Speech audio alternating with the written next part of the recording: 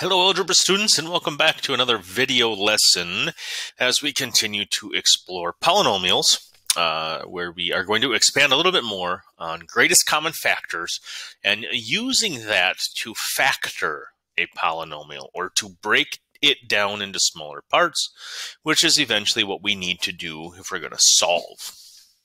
So today it's all about factoring. And in order to help us, I've got two introduction questions that are going to really kind of focus on what we're doing here, um, the process that's used for factoring. So the first one over here, we've got what we might call a GCF on the outside, 3x squared. And I'm trying to figure out what do I need to multiply uh, in this blank and this blank to obtain this answer. Which one of the four choices do you think it is? Well, if we're looking at it, this first term here is going to end up being multiplied 3x squared times something to get that result. So 3 times what is 15? That would be our 5. x squared times what is x to the fourth? That's an x squared. And notice we still have a y on here, but I don't have a y out there, which means it needs to be part of that term. 5x squared y would be the first blank. All right, then if we follow that process for this one, that second blank is going to give us this result. So what am I going to multiply 3x squared by to get 6x squared? Well, 3 times 2 is 6. x squared times 1 is x squared, so I don't really need any more x's. So the blanks here would be 5x squared y plus 2. So that, in a sense, that's what we're doing. We're working backwards to take a binomial and break it down using GCF. Now, what is happening in that process is that we're really dividing. Right? I am taking 8x to the fourth, y to the third, and I'm dividing it by 4x squared y. Plus then I'm taking 12x squared y squared and dividing it by 4 x squared y. So some of the rules that we, we, we have for exponents is that when we're dividing them, they can cancel each other out. Same thing with our numbers. What's 8 divided by 4? Well, that's 2. x to the fourth divided by x squared. If I canceled them out, that would leave me with 2 on the top y to the third divided by y is y squared plus 12 divided by 4 is 3. x squared divided by x squared is 1. They cancel each other out. And y squared over y is y. Now, if you're curious how I how I got these variables, uh, I'm going to just demonstrate with the x to the fourth over x squared.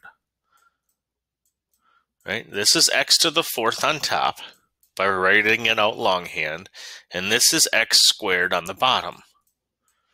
x over x, that's a 1. x over x, that's a 1. So 1 times 1 is 1, times x times x is how we end up with x squared. And that's the long way of looking at it. But it's these two processes that we use to help us factor. So I'm going to look at page 11 inside of the packet. If you have access to it, great. Uh, if not, I would write down at least this top box. So I would probably pause the video and write down at least this information here. So this box is a one by two, one row by two columns. So we've got a one by two, which means my answer is going to be a one by two. Now, what we are looking for, and, and, this is kind of what we did with multiplication, uh, is we are looking for uh, what is the GCF of these two. The GCF of whatever those two are is going to get, we're going to write it right here in front of the box, that GCF.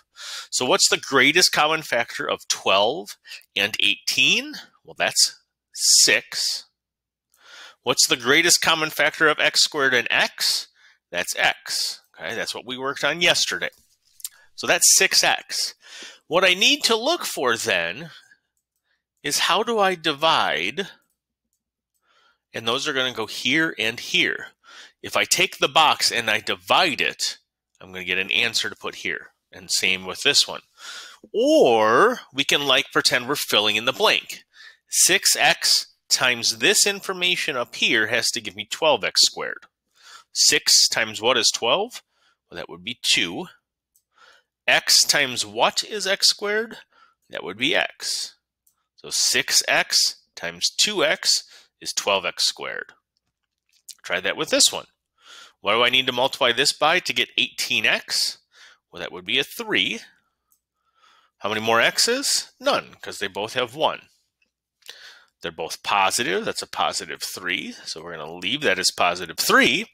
This goes out in front of my parentheses. That's my 1 by 2. 2x plus 3. That is called factoring. We factored out the GCF and identified what was remaining from those two pieces. See if you can't try that with the third one. Pause the video and see if you can't factor out the GCF. So again, our GCF goes right out in front. Greatest common factor of 24, 15, and negative 27 is going to be 3. We have a 3. Y to the fourth, Y to the third, Y to the second. They all have Y to the second in common. Two of Now let's work backwards, okay? How, 3 times what number is 24? That's going to give me 8. How many more y's do I need? If I've got y squared, but I need y to the fourth, that means I still have y squared that I need. 3 times what is 15? Well, that's 5. y squared and y to the third, that means I need one more y. 3 times what is negative 27? Negative 9, right? I need to get a negative 27. y squared, to get to y squared, I don't need any more y's. So we're going to write that. The GCF goes out front, 3y squared, that's my one dimension, times 8y squared plus 5y minus 9. All right, and it's all that factoring by knowing the GCF. Let's look at two more. I'm sorry, one more. Try and see if you can't factor that one using that same process. All right, step one is to try and identify the greatest common factor. I'm going to go out front. Greatest common factor of these numbers, 40, negative 5, and 35 is 5. How many A's do they all have in common? Just one, because the last one only has one. So we're going to take out 5A. we got to figure out what's left. 5 times what is 40? That's my 8. A times how many more is A to the third? A squared. Now we go to the next one. 5 times what is negative 5? That's negative 1. A times what is A squared? That's 1 more A. 5a, so 5 times what is 35? That's 7. a times what is a? Nothing. I don't need any more. So the greatest common factor will go out front, and we're left with 8a squared minus 1a plus 7, because we have a positive 7 on the end. All right, so once you can kind of start to, to get used to the patterns and the process that happens here, I think it tends to get maybe just a little bit easier. But that's why the practice part of this is so critical, so important. All right, here's another example. We've got two terms, right? Now, they don't put them in a box for us, but that's okay. If you like the box, go ahead and make one. Take your two terms and put them in their own little box. And then you'll see that you can still do this. What's the greatest common factor of 21 and 7? Well, that's a 7. How many g's do they have in common? 2, so g squared would come out. And how many h's do they have in common? Well, just the 1, because the first one only is 1. So there's my GCF. Now I'm going to figure out what do we have left to pull out, how do I need to multiply? So 7 times what is 21? That's a 3. g squared times what is g squared? No more, just a 1. I don't need any more. h times what is h? Nothing more. I don't need any more h's. So now we go to the next one. 7 times what is 7? That's a 1. g squared times what gives me g to the fifth. How many more g's do we need? 3. How many more h's do we need? h and h squared would give me h to the third. So 7g squared h times 3 plus g to the third h squared.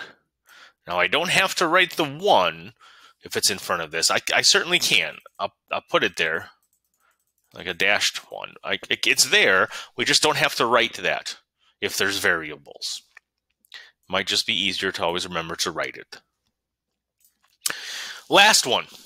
Try our last example. So again, if you're more comfortable with creating this box, I would encourage you to do so.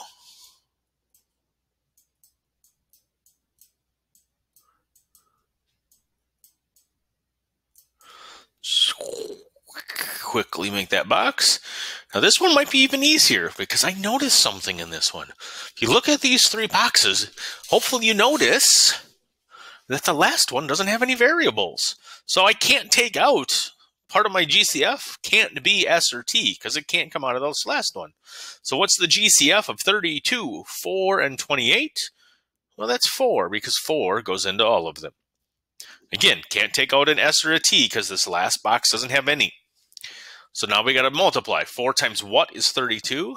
That's 8. If I don't have any variables, these all have to come out. S to the fourth, T to the fifth. 4 times what is 4? That's 1.